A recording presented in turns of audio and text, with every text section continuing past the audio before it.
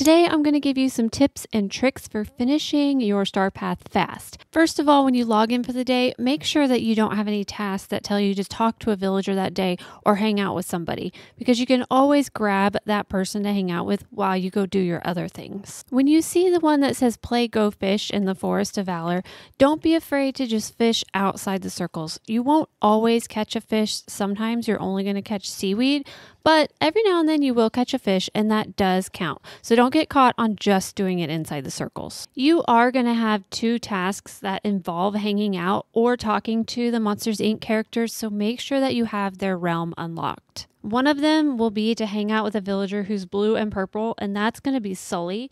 And the other will be to chat with the best jokester in the business, and that is going to be Mike Wazowski. You are going to need to craft a Zen garden and one of the DJ sets, so go ahead and check out what you need for those and make sure that you have the supplies before the task even comes up. When fishing for multicolored shrimp, you can either choose to fish for the shrimp in Dazzle Beach, or you can go to Eternity Isle if you have the expansion and fish for the prism Prisma shrimp there because they also count. When you see the task to remove night thorns in your valley, if you have the expansion, you can go to your utilities, grab your ancient vacuum, and easily remove all the night thorns in your biome just by clicking on them. Don't forget that you can also remove the splinters of fate in Eternity Isle and those will count. Completing Dreamlight duties can seem like a lot of work, but if you have the expansion, missed duties will also count towards that task. Picking bright red berries not only includes raspberries and your gooseberries, but it also will include strawberries and cactoberries. So if you have the DLC, make sure you head over to those areas to collect them as well. When you need to go play Go Fish with some bass, just head over to your peaceful meadow and fish outside the circles.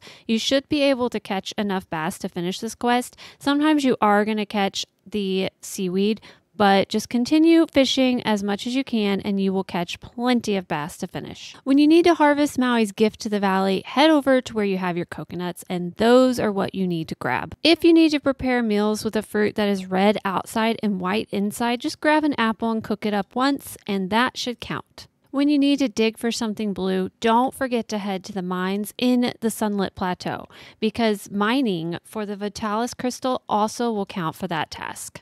When you need to harvest a pungent spice, it is garlic. And don't forget that if you have the expansion, you can also get garlic from the grove and the lagoon and use your vacuum. Did you know that harvesting fruits that are blue doesn't only mean blueberries? If you have the DLC, you can head over, plant some cosmic figs, harvest those, and they will also count for this task. If you need to mine for an orange gem, it counts for citrine and it also counts for the ever gem.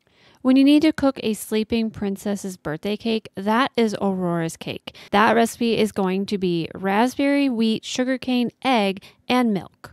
When you get to the task that says to harvest purple from your vegetable patch, you can either plant eggplants, turnips, or the flute root. So make sure you already have those ready to go so that way when this task comes up, all you have to do is harvest them. When you need to cook something sweet and cold with apples, that's going to be the apple sorbet. So grab an apple, sugarcane, and slush ice to make that.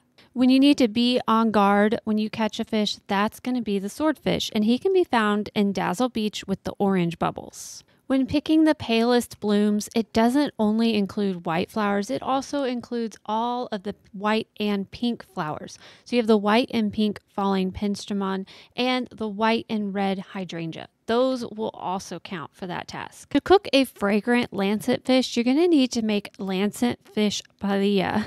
That is lancet fish, shrimp, seafood, tomato, and rice. Fishing for something puffy is going to be the fugu fish, and he is only in Dazzle Beach when it rains. So next time it rains in your valley, run down to Dazzle Beach and look for the orange circles, and that's where you'll find the fugu fish. You can also craft a fishing potion to make this task go by much faster. Thank you guys so much for watching. I hope that I gave you some tips and tricks to help you finish your star path fast. If you have any other tips or tricks, please leave them below and let me know. Are you finished with your star path?